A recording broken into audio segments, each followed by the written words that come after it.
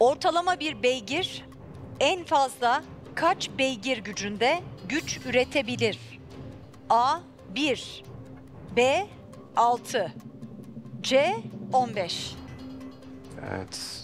Ortalama bir beygir en fazla kaç beygir gücünde? Ne güzel soru değil mi? Yani biraz garip geldi evet. Güzel bir soru ama ortalama bir beygir en fazla kaç beygir? Bir beygirin ortalamasını alırsak ona göre hesaplarsak. Çok şaşırtmaçlı gibi hissettim şu an ben ya. Bir beygir en fazla bir beygir gibi kısa bir yola yönlendiriyor beni burada. Ama bilmiyorum 150 binlik bir soruda bu şekilde bir yola getirmeleri de biraz kötü olur için. O yüzden ortalama bir beygir en fazla kaç beygir gücünde?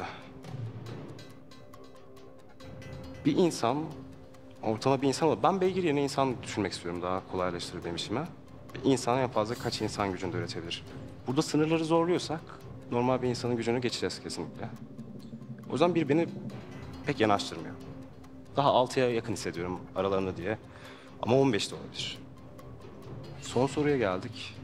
Tabii benim için, hayalimdeki para için. Ben bu para için Tufan Hoca'ya gidebilirim gibi hissediyorum. Ama birazcık daha zaman isteyeceğim sizden. Ortalama bir beygir en fazla kaç beygir gücünde? Biri sildik kafamızdan. 6 ile 15 arasındayız. Ben burada daha fazla yürütemiyorum. Birazcık da Tufan Hoca'dan destek alarak. Peki dönelim bakalım. Bu kez nasıl yardımcı olacak merak ediyorum çünkü çok ilginç bir soru bu. Ben de çok heyecanla bekliyorum Tufan Hocam'la. Evet dönelim.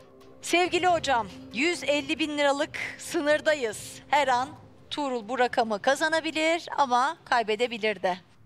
Nasıl yardımcı olacaksınız? Tabii ki Tuğrul'un kaybetmesine gönlüm razı olmaz. Ama bir de şartımız var. Doğru cevabı bulması gerekiyor. Beygir gücü deyince gündelik hayatımızda hep araçların sahip olduğu e, veya ürettiği gücü düşünüyoruz. Ki e, herhalde o beygir gücü de e, bir beygirin ürettiği gücü hesaba katarak oraya yazılıyor. Tabii ki bir insan Tuğrul'un hesabıyla önce bir insan gücü kadar üretebilir. Sonra da gücünü bir yere kadar zorlayabilir. Belki beygirler de öyledir. Bilmiyorum yani e, doğrunun ne olduğunu tam olarak. Ama altı olmadığını düşünüyorum. Teşekkür ederiz hocam. Şimdi burada hocamız aslında çok kritik bir şıkkı eledi. Çünkü yani aklınız 1'e de gitse 6 kafayı karıştıracaktı, 15'e de gitse 6 kafayı karıştıracaktı. Dolayısıyla hocamız B şıkkını eleyerek arada böyle çok ciddi bir fark sundu size. Yani bir beygir en fazla bir beygir gücünde mi güç üretebilir yoksa belli bir süreliğine bir beygir 15 beygir gücünde de güç üretebilir mi? Buna karar vermeniz lazım. Evet Tufan Hocam birazcık beni zor bir duruma soktu aslında. Ben 6'ya daha yakındım. E, tabii güzel oldu soru için. Çok iyi oldu, tabii. 6 ile 15 arasındaydım ve arada bayağı uçurum bırakacak bir sayı bıraktı bana. Yani burada biz şartları maksimuma atıyoruz. Yani normal bir minimum şartlarda konuşmuyoruz. Ve bir beygirin en fazla durumunda o zaman en fazla olması daha mantıklı gibi geliyor. Yani o yüzden C15'e yakınım şu an için.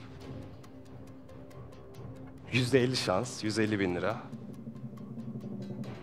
Yazı turadan çok daha önemli olduğu kesin benim için şu an. Bir beygir en fazla kaç beygir gücünde güç üretebilir? Maksimum şartlar, maksimum güç.